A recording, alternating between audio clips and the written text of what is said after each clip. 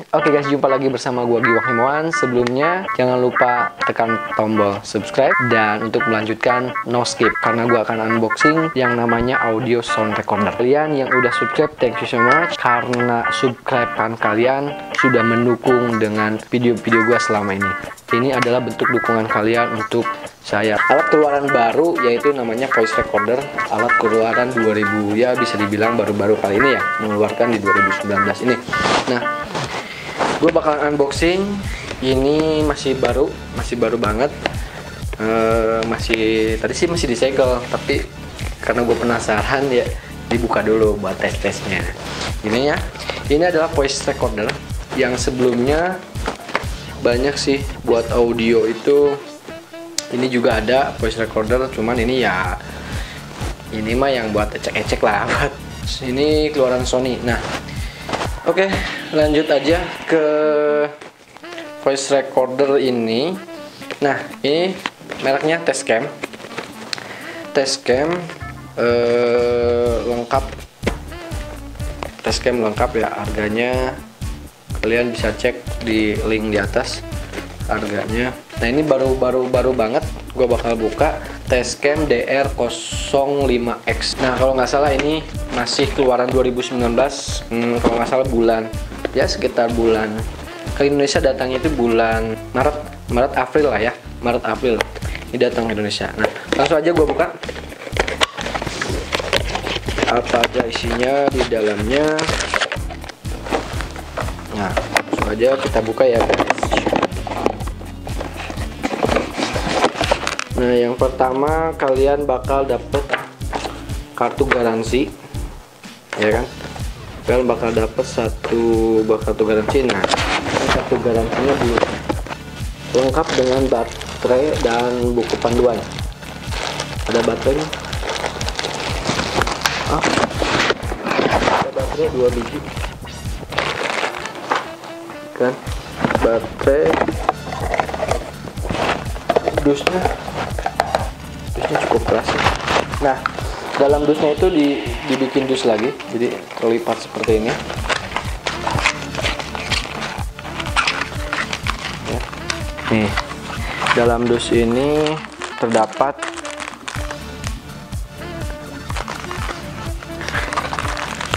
dalam dus ini terdapat test camnya sendiri. Nah test camnya seperti ini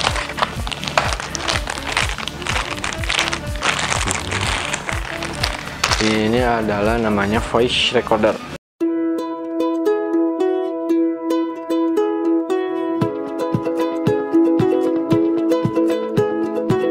I think we started something, gonna tell the world again. Oh, you're so beautiful, I just can't hold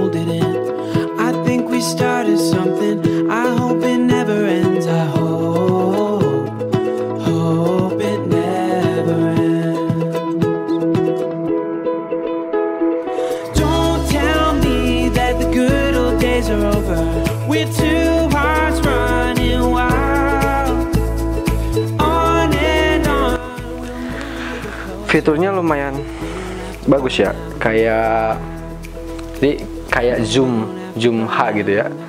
Kayak zoom zoom H H H4 H6 jadi si mic-nya ini duanya ke atas beda sama zoom H1n ya.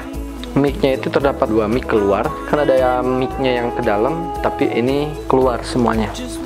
Nah bentuknya segini keluar. Langsung aja kita buka. Ini baterainya pakai baterai biasa ini mana baterainya ini baterainya kita masukin kita tes. Baterainya baterai biasa kayak baterai jam.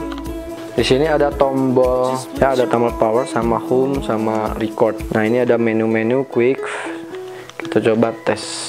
Pas begitu masuk kita di tanggal jam sama ini. Berarti ini keluaran dari sana itu 2018 karena dia nggak bisa akses. Nah kalau pas dimasuk no memory card jadi nggak bisa recording.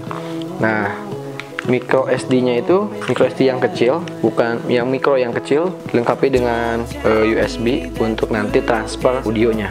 Ada tombol hall nya juga. Nah ini adalah sebuah sound recorder buat merekam audio.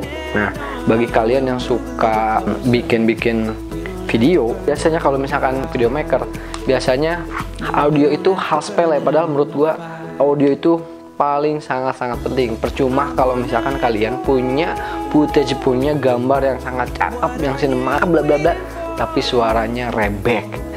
Suara audionya parah banget. Nah saran gua sih kalau nggak pakai Rode kamera ya pakai apa kamera Rode atau misalkan kalian bisa pakai uh, apa namanya kayak gue pakai kame apa pakai wireless mikrofon jadi cuma dari kamera ini mikrofon jadi pakai kamera dari kamera lewat wireless wireless mikrofon. Oke okay, kita tes. Uh, kita udah masukin memori. Memori cardnya udah dimasukin. Dan kita tes audionya seperti apa. Ya ini kan mic gue ya? Mic mic mic dari kamera ini menggunakan boya. Nah. Oke okay, ini tes. Ini menggunakan Sony. Ini Sony ini. Uh, ini suara dari test cam. Suara dari test cam seperti ini hasilnya. Dan ini suara dari Sony. Seperti ini hasilnya. Dan Sony ini uh, ini sangat sangat low budget ya. Jadi sangat murah banget. Beda dengan yang ada duitnya. Ya beda lah. Beda beda harga pasti beda kualitas. Nah apalagi dengan dengan dengan dengan dari kamera.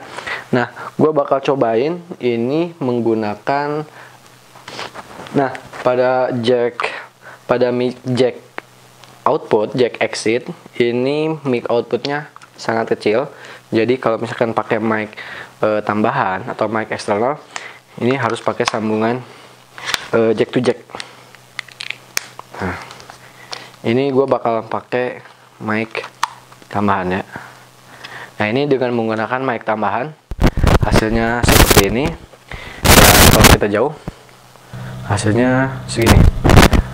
Atau dengan teknik boom dengan teknik boom ini suaranya dari atas. Ini dengan menggunakan mic Shure gue bakal coba dengan mic uh, Shure tapi pakai mock uh, mock. Kalau ini pakai kondenser gue bakal pakai cobain tes pakai mic di dynamic ya. Untuk Oh, cek. Cek cek. Satu dua tiga. Cek. Satu dua tiga cek. Empat lima enam. Jadi dengan menggunakan mic dynamic. Kalian bisa bandingkan nanti. Kalau copot lagi ini tanpa mic tanpa apa suaranya seperti ini. Ini jaraknya berapa ya? Sekitar 70 cm lah ya. Sekitar 70 cm suaranya seperti ini. Dan ini kalau dari atas suaranya seperti ini. Eh, kalian bisa bandingkan. Dan ini kalau misalkan dari samping suaranya seperti ini. Dan cukup ini juga cukup bahannya cukup cukup ringan juga karena terbuat dari plastik. Plastik hmm, salah audio. Ya terus terang ya kalau misalkan dalam sebuah videographer kalau misalkan terus terang kalau misalkan dalam sebuah videographer audio itu adalah sesuatu hal yang penting. Jangan sampai video kalian noise seperti ini. Ada hal yang ingin disampaikan oleh Pak Kades. Pencaharian baru untuk masyarakat sekitar.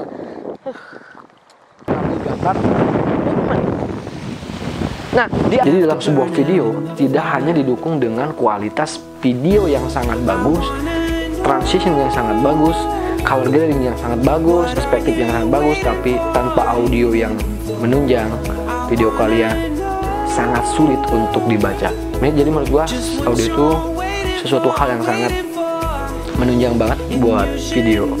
Kita tes seberapa seberapa sensitifnya noise yang ada di test cam ini. Ini kan sunyinya malam hari.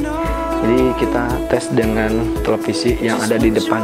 Kita akan tes noise-nya dengan menggunakan noise TV. Eh, TV.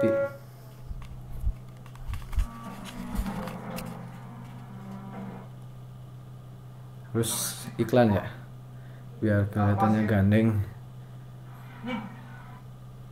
Ada iklan ya. Tumben.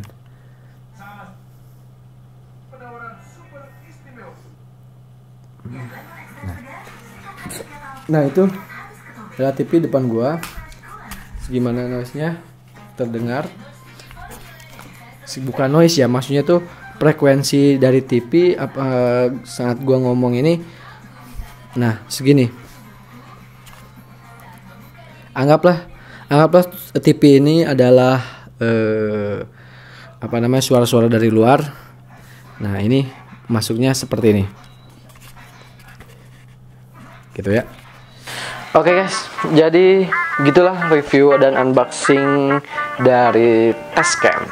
Jadi kalau misalkan kalian mau beli Testcam ya pergi aja lah ke dealernya. Soalnya gua nggak di endorse sama ini Testcam, gue cuman buka unboxing doang. Barangkali bermanfaat buat kalian yang mau beli sound recorder dan menunjang buat karya-karya kalian. Oke guys, gitu aja dari gua. Thank you for watching dan jangan lupa subscribe.